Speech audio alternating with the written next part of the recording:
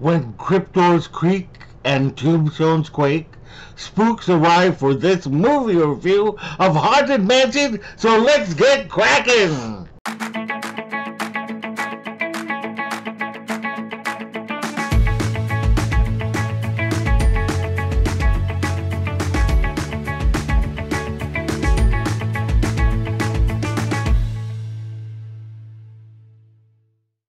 Hello, my explorers, and welcome back to Loren's Adventures Out There. And if you're new, thank you so much for joining us. We really appreciate it. My name is Lauren, and I'm with Castles, Capes and Clones, where we discuss everything in the Disney universe. We talk Disney, Pixar, Marvel, Star Wars, The Muppets, 20th Century, National Geographic, Disney Plus, Hulu, ABC, and more. So if you like that kind of content, We'd love it if you would subscribe to our channel, hit the bell for notifications, and do like this post, as it really does help us out with the algorithm. So before we start today's video, we wanted to say that without the labor of writers and actors, we would not be able to discuss Disney content like this without them. So we do support the 2023 WGA and SAG-AFTRA strikes. So in his latest adaptation of Haunted Mansion, there was an adaptation 20 years ago with Eddie Murphy. This version has four ghost hunters who are trying to help a mother and her son who are seemingly trapped in a Louisiana mansion by the nefarious Hatbox Ghost. And they all have to try to figure out why this is happening before somebody is hurt. I'm just going to say it right off the bat. I love this version of Haunted Mansion. Now, I am actually a fan of the Eddie Murphy version. I watch it every Halloween. I just think it's a fun, kind of creepy, funny movie not necessarily the best adaptation of Haunted Mansion, but I do find it fun. The thing with the Haunted, with the Eddie Murphy version, I think, is that they kind of made it into like a spooky comedy altogether, and it didn't really represent the Haunted Mansion in in its spirit. I want to say. Um, I think that this movie does a much better job in balancing both the comedy and the horror aspects of the film.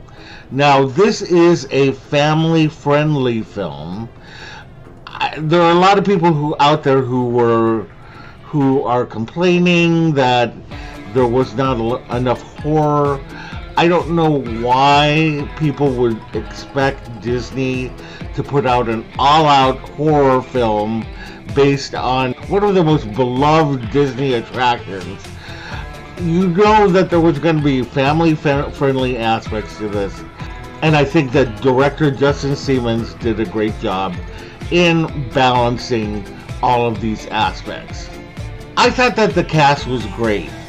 At first I was worried because you know, they had three big comedians that had very different styles of comedy. You have Tiffany Haddish, Owen Wilson, and uh, Danny DeVito. And would they all match up in this film? And I think that they do quite nicely. Uh, I think that they were a lot of fun. But for me, the standout is Lakeith Stanfield. I thought that he did a great job in conveying his character of Ben, a man who lost his wife, a man who went into the kind of ghost hunting business, uh, but then just lost all will for life after she died. And he may not have the comedy chops that the others do, although I do feel like he held his own with the rest of the cast. But there is a moment in the film, um, I, I won't tell you where or when, but I literally cried during his performance. I think that it was just so beautifully done, and I was so moved by it. And I just thought that he was really uh, a great addition to this cast. Uh, also, Chase Dillon, who plays Travis, the son of Rosario Dawson's Gabby.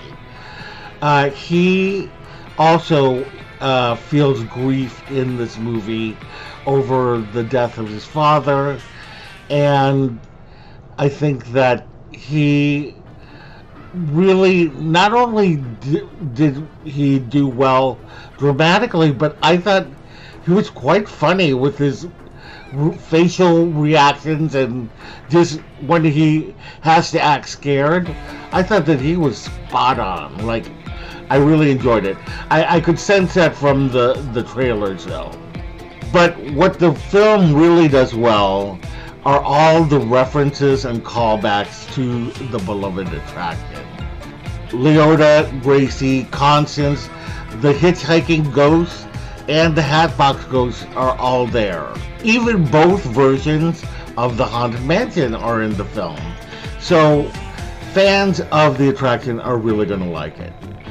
Jamie Lee Curtis, again, just shoots up the scenery, uh, getting to do comedy again, uh, and yet at the same time is very much Leota. Jennifer Tilly was fun in the Eddie Murphy version, but she wasn't Madame Leota to me. I felt like Jamie Lee Curtis captured the spirit of Madame Leota. But Jared Leto, who I know gets a lot of hate for some reason, I mean, I know that he's been in a couple films that have not been the greatest, but I don't dislike Jared Leto. And whether you're a fan of his or not, you're going to be okay with him because you really don't know that it's Jared Leto. But he does give the kind of inflection and um, the feeling of the Hatbox Ghost. And I like the fact that they gave him a backstory and it makes him even more compelling as the villain of this film. For families wanting to watch this film, like I said, it is a family-friendly film, but there are jump scares in this film, and I did jump, uh, and I'm used to watching horror movies. Now, I love to jump, so that might be a little bit of like I'm just jumping into it. Uh, but I think that you know you should just proceed with caution. Know your child. If your child loves R.L. Stine, Goosebumps, I mean I've seen some of those Goosebumps uh, episodes, and they're just as equally terrifying as anything in this film. So they will definitely like it. If your child wants to start watching horror films, you might have them try it out. Um, I just say, again, know your child, but I don't think that there's anything so damaging that, um, you know, if you take your child to see this film, they'll never talk to you again. The only thing I would say that it could be slightly long, especially for young children.